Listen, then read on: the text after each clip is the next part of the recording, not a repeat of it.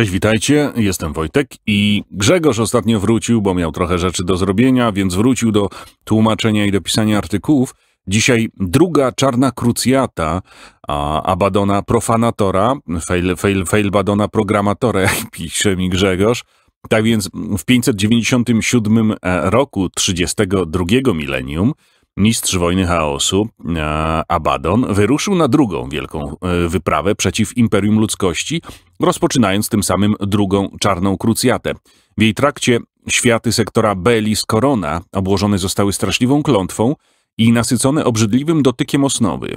W tym samym e, czasie okręty Czarnej Floty uderzyły na znajdujące się w sektorze imperialne stocznie, niszcząc dziesiątki imperialnych krążowników w różnych stadiach budowy i napraw, Zanim imperium zebrało siły do kontruderzenia, profanator wycofał się do oka terroru. To tyle, koniec artykułów. Nie no, żartuję.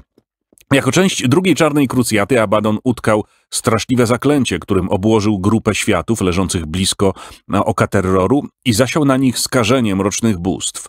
Na czele niewielkiego oddziału najbardziej elitarnych wojowników ze swojego Czarnego Legionu wdarł się do bazy floty imperialnej na Beliskolona, podczas gdy Czarna Flota przeprowadzała atak dywersyjny na stocznie orbitalne, Abaddon i niosący rozpacz, najpotężniejsi i najokrutniejsi członkowie Terminatorów Czarnego Legionu, wylądowali na jednym z zewnętrznych księżyców.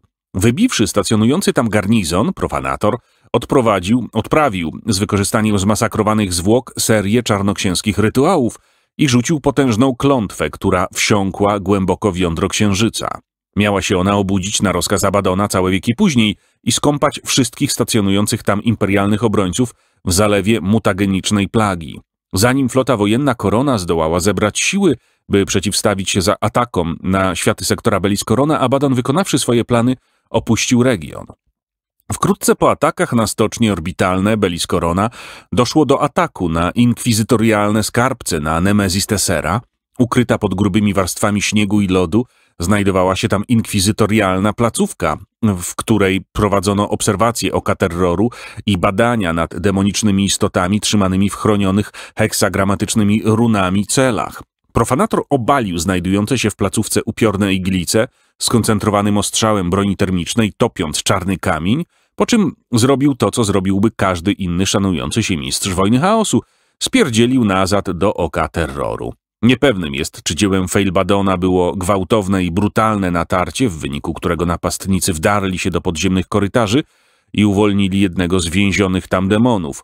Kiedy na miejsce przybyły siły inkwizycji, ktokolwiek zaatakował placówkę, zdążył już zniknąć, pozostawiając za sobą ścieżkę dymiących zwłok i bolterowych łusek. I to tyle, jeśli chodzi o drugą czarną krucjatę e, Abadona Profanatora. Będą kolejne, mam artykuły na kolejne, na kolejne krucjaty, które nie są strasznie długie, aż do dziewiątej, która jest tam pewnie, pewnie oho, ho, ho, zejdzie. Znaczy dziewiątej nie mam jeszcze, od razu mówię, ale na pewno kiedyś tam będzie. Tak więc dzisiaj koniec drugiej. Ja zapraszam Was do kolejnych artykułów, które się pewnie całkiem niedługo dzisiaj jeszcze pojawią. Po południu, jak wieczorem zajrzycie, na pewno będzie ich kilka. Mm, muszę trochę po, pozgarniać komentarzy tych fajnych, tych różnych ciekawostek. Tak więc tyle na dzisiaj Czarnej Krucjaty. Do usłyszenia w następnym odcinku. Cześć, czytał Wojtek.